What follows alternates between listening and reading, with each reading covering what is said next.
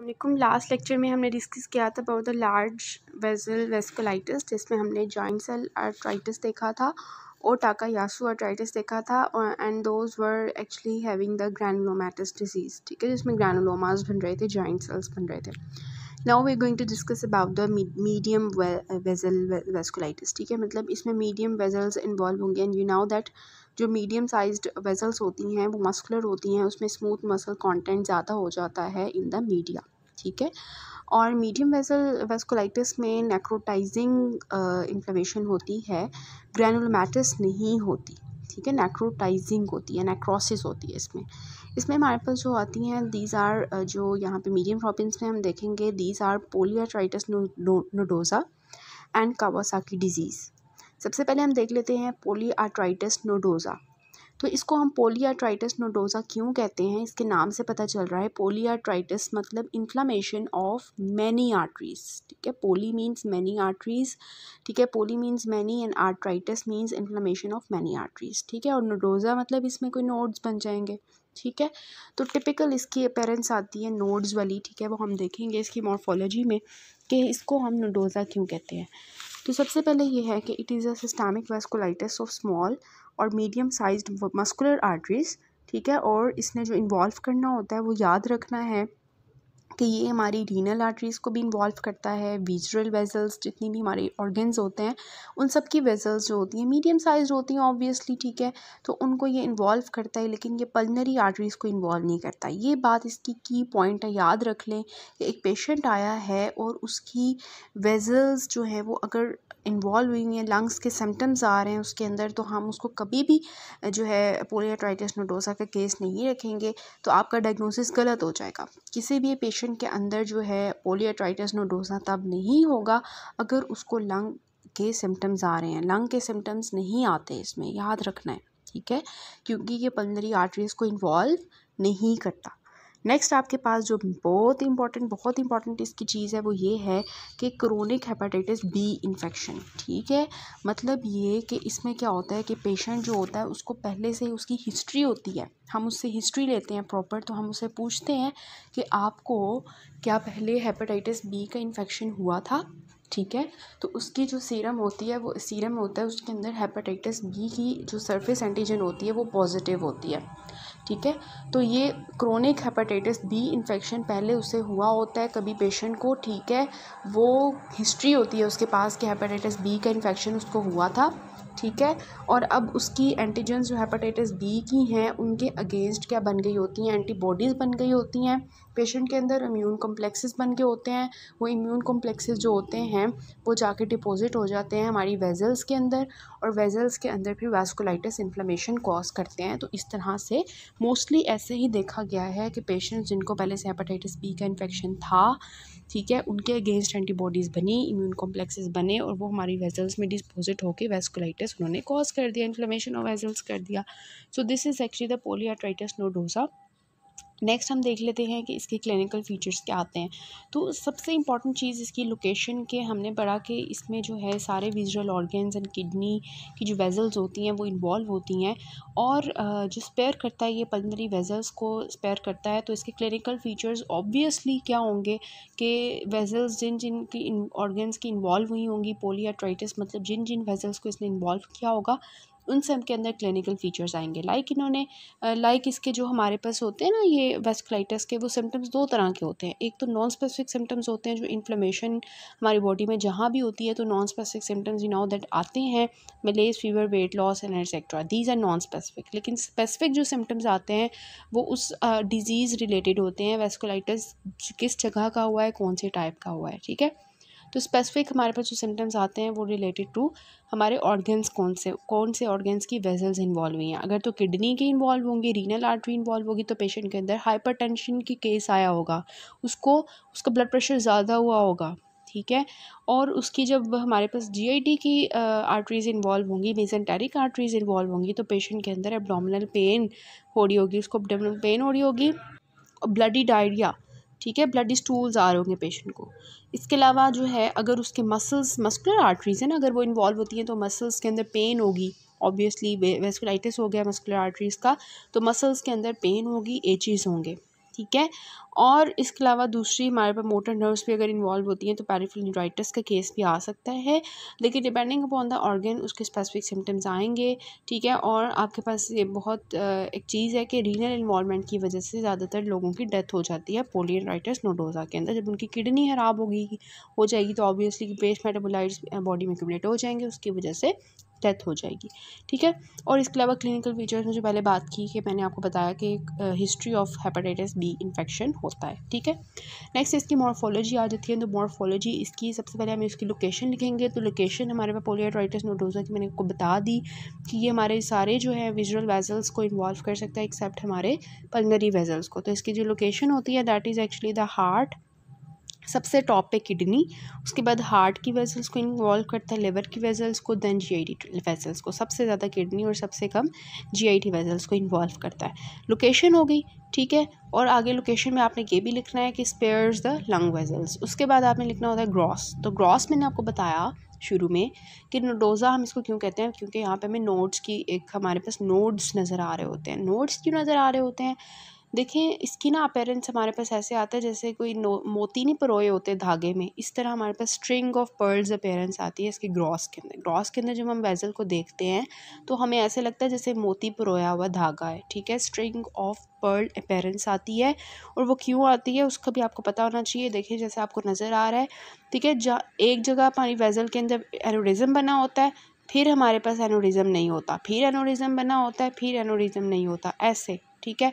और दरमियान में जो उसका स्पेयर पोर्शन होता है, जहाँ पे एनोरिज्म नहीं होता, वहाँ पे क्योंकि काफ़ी अरसे से वेस्कुलाइटिस था तो उसकी वजह से वहाँ पे फाइब्रोसिस हो जाती है।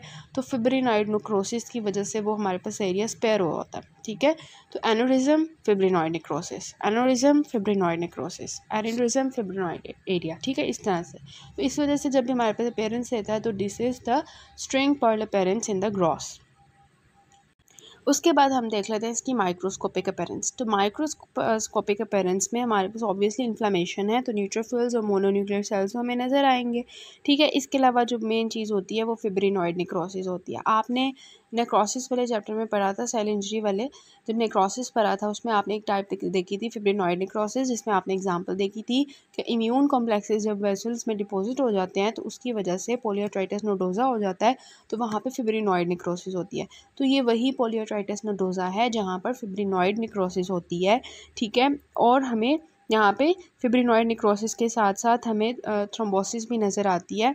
ठीक है ल्यूमिनल थ्रोम्बोसिस भी नज़र आती है, ठीक है, और वीकनिंग ऑफ़ आर्टीरियल वॉल की वजह से एनोरिजम्स भी नज़र आते हैं, जो मैंने आपको बताया स्ट्रिंग ऑफ़ पर्ल अपेरेंस ठीक है।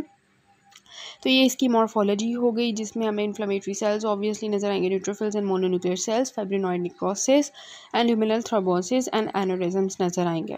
So here is a figure ten point twenty five यहाँ पर आप देखें तो ये पोलियाट्राइटस नोडोज़ा का केस है, जिसमें क्या हुआ हुआ है सेगमेंटल फिब्रिनॉइड निक्रोसिस नज़र आ रही है। ठीक है सेगमेंटल से मुराद ये है कि वेज़ल पूरी की पूरी इन्वॉल्व नहीं होती उसका कोई सेगमेंट इन्वॉल्व होता है। ठीक है पैथोमा में मैंने आपको बताया था कि हम जब बायोप्सी करते हैं ऐसी वेज़ल की तो हम आ, आ, क्या पता कि हमने उस वेज़ल का वो वाला पोर्शन निकाला हो जहाँ पर ये आ, जो है पोलिट्राइटिस नोडोज़ा ना हो। किसी और सेगमेंट में हो तो हम ये समझ के कि हमने जो वेसल की बायोप्सी की है, इसके अंदर नहीं हमें कोई फिब्रिनोइड निक्रोसिस और इस तरह की कोई चीज़ नज़र आई तो पोलियोट्राइटस नोडोज़ा पेशेंट को नहीं है, ठीक है? क्योंकि क्या पता कि वो सेगमेंट कोई और इन्वॉल्व हुआ हो तो सेगमेंटल निक्रोसिस होती है इसमें सेगमेंटल होती है, ठीक है? कोई कोई सेगमेंट इन्वॉल्व हुआ होता है, पूरी की पूरी वेजल जो है वो इन्वॉल्व नहीं होती। नेक्स्ट आपके पास आता है कावासाकी डिज़ीज़ कावासाकी डिज़ीज़ के बारे में यही है कि ये भी नेक्रोटाइजिंग वेस्कुलाइटिस है, ये भी मीडियम साइज़ वेजल्स को इन्वॉल्व करता है, ठीक है? देखिए, ये इसकी ना ज़रूरी नहीं है कि वैस्कुलाइटिस जो होता है ये मीडियम का ही हो।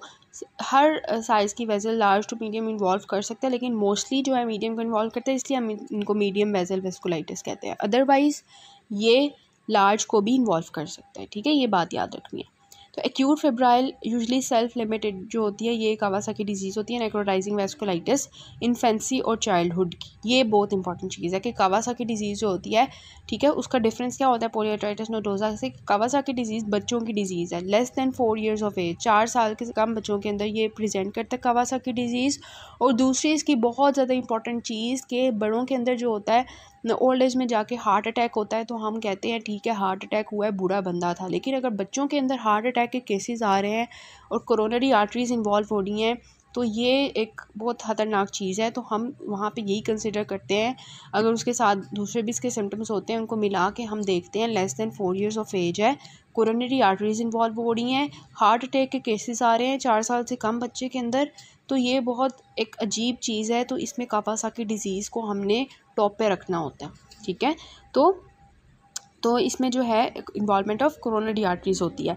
और ये हमारे पास मोस्टली वायरल इन्फेक्शन की वजह से क्या होता है? हाइपर सेंसिटिविटी रिएक्शन हो जाता है, जिसकी वजह से एंटी जो मेन चीज़ है वो ये कि एंटी एंडोथीरियल सेल एंटीबॉडीज़ बन जाती हैं। हमने देखा था ना वैस्कुलाइटिस में चार तरह के मैकेनिज़म्स थे जिसकी वजह से वैस्कुलाइटिस हो रहा था और उसमें से एक हमने देखा था एंटी एंडोथीरियल एंटीबॉडीज़ बन जाती हैं।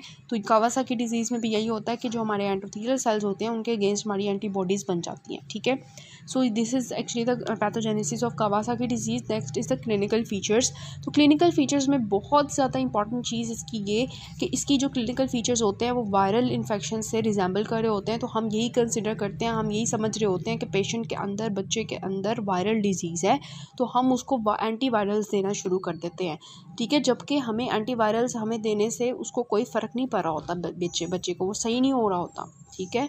तो हमने उसके क्लिनिकल फीचर्स को देखना होता है। हमें कंजक्टिवाइटिस नज़र आता है पेशेंट के अंदर, हमें रैशेज नज़र आते हैं उसके पाम्स एंड सोल्स पे रैशेज नज़र आते हैं लिम्फेडिनोपैथी नज़र आ रही होती है डीमा ऑफ़ हैंड्स नज़र आ रहे होते हैं, उसके गले के अंदर ओरल रिदमा एंड ब्लिस्टरिंग हुई होती है। तो हम ये समझ रहे होते हैं कि इसके अंदर वायरल डिज़ीज़ है, ठीक है? तो हम एंटीवायरल्स देना शुरू कर देते हैं।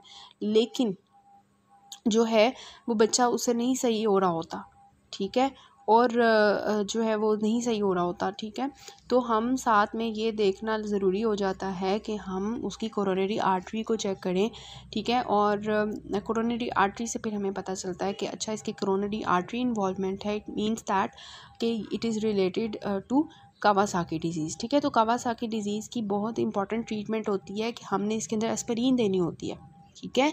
हम एंट, हम एंटीवायरल्स दे रहे होते हैं और viral disease you know that कि उसमें हम एस्परीन नहीं देते। एस्परीन अगर हम दें तो वायरल लोड ज़्यादा हो जाता है और राय सिंड्रोम का होने का चांस होता है, जिसमें you know that encephalopathy and liver normality आ जाती है। तो हम जो है वायरल डिज़ीज़ के अंदर एस्परीन नहीं दे रहे होते। ठीक है, जबकि कावासाकी डिज़ीज़ की ट्रीटमेंट ही एस्पेरिन है, जिसने हमारे कोरोनरी आर्टरीज को थ्रोम्बोसिस से बचाना होता है।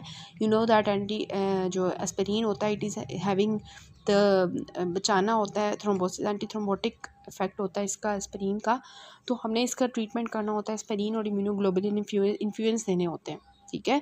तो एज़ सुन एज़ पॉसिबल हमें क्लिनिकल पिक्चर को अच्छी तरह डायग्नोज करके, हमें की डिज़ीज़ को रूल आउट करके, हमें जो है क्या करना होता है कि की डिज़ीज़ को डायग्नोज करके उसकी ट्रीटमेंट एस्पेरिन से करनी होती है ताकि पेशेंट जल्दी से जल्दी ठीक हो जाए, उसको हार्ट अटैक की वजह से डेथ ना हो जाए कहीं उसकी, ठीक है? फिर इसकी जो इंपॉर्टेंट चीज़ है दैट इज़ मॉर्फोलॉजी मॉर्फोलॉजी में सबसे पहले तो इसकी लोकेशन है, जो मैंने आपको बता दिया कि ज़्यादातर हमारे मीडियम साइज़ आर्टरीज़ को इन्वॉल्व करती है large to medium size arteries और ज़्यादातर जो कोरोनरी आर्टरीज़ होती हैं, उनको इन्वॉल्व करती है। नेक्स्ट इसकी जो मॉर्फोलॉजी में आती है कि मैंने आपको बताया कि इस पर जो है नेक्रोटाइजिंग इन्फ्लेमेशन होती है और डेंस ट्रांसम्यूरल इन्फ्लेमेटरी इन्फिल्ट्रेट नज़र आता है। ट्रांसम्यूरल मतलब कि हमारी सारी आर्टरी की जितनी भी लेयर्स हैं, उन सबको इन्वॉल्व करता है। ठीक है? फिब्रिनॉइड निक्रोसिस हमें यहाँ पे नज़र नहीं आता, ये भी बात याद रखनी है। इंपॉर्टेंट इसकी एज है। ठीक है? और कोरोनरी आर्टरीज़ की ज़्यादा इन्वॉलमेंट है। पोलियोट्राइटिस नोडोज़ा में ज़्यादा रीनल आर्टरी इन्वॉल्व हो रही थी। यहाँ पे कोरोनरी आर्टरी इन्वॉल्व हो रही है। पोलियोट्राइटिस नोडोज़ा में जो एजेस थी वो ऑलमोस्ट ऑल एज ग्रुप्स में इन्वॉल्व होती है। कावासाकी जो होती है ये less than four years of age में। ठीक है? और, जो पोलियोट्राइटिस नोडोज़ा है उसमें फिब्रिनॉइड निक्रोसिस प्रोमिनेंट होती है, जबकि इसकी मॉर्फोलॉजी में याद रखना है कि इसके अंदर जो फिब्रिनॉइड निक्रोसिस होती है वो इतनी प्रोमिनेंट नहीं होती। ठीक है? और एनोरिज्म फॉर्मेशन यहाँ पे भी होती है और इंटिमल फाइब्रोसिस यहाँ पे भी होती है। So this is all about your polyarteritis nodosa and Kawasaki disease